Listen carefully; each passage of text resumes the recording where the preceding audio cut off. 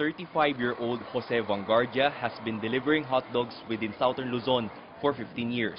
For a long time, he had to endure four hours of travel from Calamba in Laguna to Molino in Cavite. But since the opening of the Muntinlupa-Cavite Expressway, Jose's trip now only takes about an hour. Ang garahe namin dito sa ano eh, sa Molino. May matraffic po pag sukat pa kami.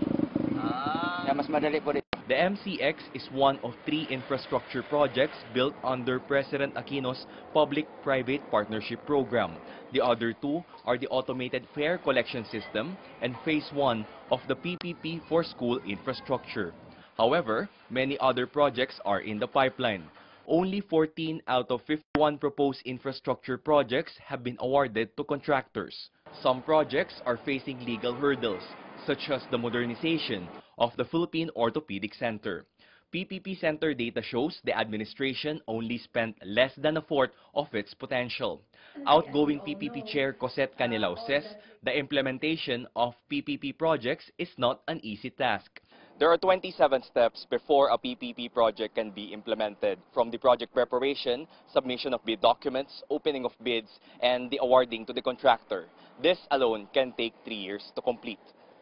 She, however, assures the completion of two remaining PPP projects will not be jeopardized.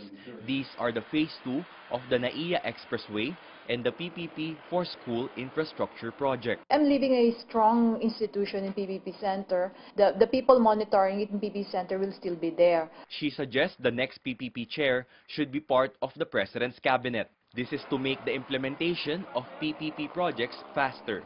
She is also calling on Congress to pass the PPP Act before Aquino steps down. Then it will become faster, the implementation, meaning the decision-making, the tender process. Meanwhile, a director for the International Finance Corporation says the next administration should continue implementing the PPP projects left in the pipeline.